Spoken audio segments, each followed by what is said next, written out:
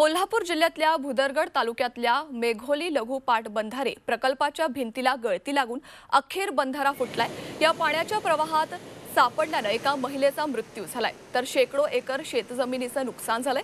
दरम्यान या प्रकल्पातील पाण्यामुळे आता वेदगंगा नदीच्या पाणी पातळीत वाढ होण्याची शक्यता आहे. त्यामुळे नदीकाठच्या लोकांना सतर्कतेचा इशारा देण्यात आलाय. इथल्या स्थानिकांशी बातचीत केली आहे आमचे प्रतिनिधी प्रताप नाईक यांनी.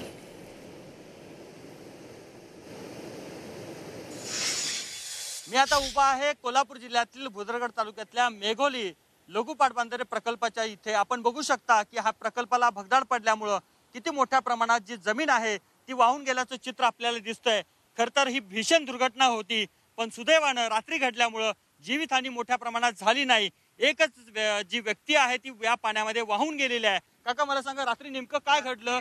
कशा प्रकारची भीती होती? संवादाच्या दरम्यान असं आवाज मोठाच पाण्याचा निर्माण झाला. त्यामुळे लोकांना ज्याला ज्याला समजल तो म्हणे धरण फुटलं धरण फुटलं. पण रात्री काळोख लाइट सगळे गेल्यामुळे काहीच कुणाला कळलं नाही. मग त्यामुळे प्रत्येकजण जो तो जो तो आपल्या हातातली बॅटरी काय घेऊन ती घेऊन धरणाकडे धावत आला.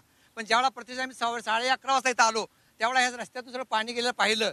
आणि त्यावेळा इथं प्रत्यक्ष आम्ही जाग्या पण आलो. त्यावेळा इथं नदीसारखा प्रवाह मोठा दिसला. त्यावेळा आम्ही थांबलो की खरोखर धरण फुटलं. पाण्याचा प्रवाह एवढा मोठा होता की नदीकाठची लोक होती ते सैराबैरा व्हायला जिकडं तिकडं पळापळी चालू झाली. त्यानंतर काही एक कुटुंब पाण्याच्या ह्याच्यात सापडलं त्यात एक महिला दुर्दैवानं आणि चार जनावरं वाहून गेली. बाकीचे झाडाचा सहारा घेतल्यामुळं ती वाचली गेली. आवाज इथं मोठ्यान जोर जोरान. धाड धाड धाड धाड येत. होता. मग त्याच्यामुळे भीती निर्माण झाली. हा. मग अशा वेळेला काय केलं तुम्ही? अशा वेळेला काय आम्ही घाबरून गप हे झाला. याला जबाबदार कोण? अशा प्रकारचा सवाल स्थानिक करतायत.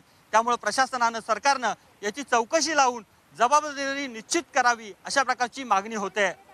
Cameraman Omkar Girsa Pratap Naik Zee media Bhudargad Kolhapur. सह्याद्रीची उंची म्हणजे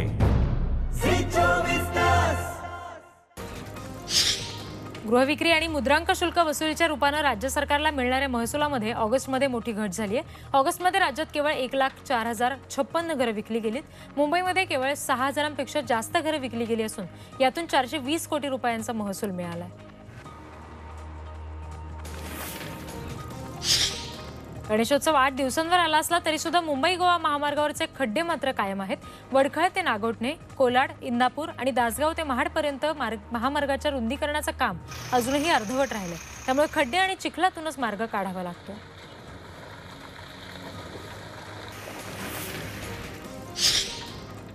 रेल्वेवरील तिकीट पास काढताना केल्या जाणाऱ्या रोकडविरहित व्यवहाराला चांगला प्रतिसाद मिळत होता.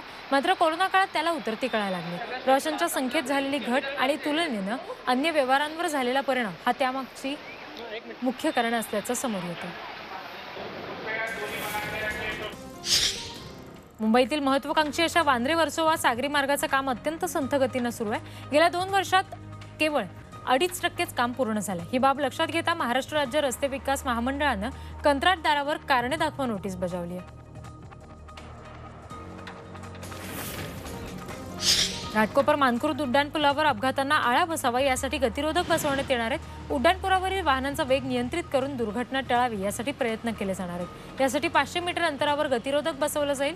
यासह सीसीटीव्ही कॅमेरे गतिरोधक दर्शक फलक सुद्धा बसवले जातील.